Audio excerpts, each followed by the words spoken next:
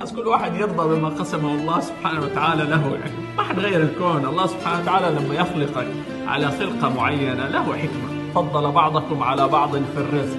ففضل ناس برزق فضل ناس بجمال فضل ناس بقوة في الجسم بطول.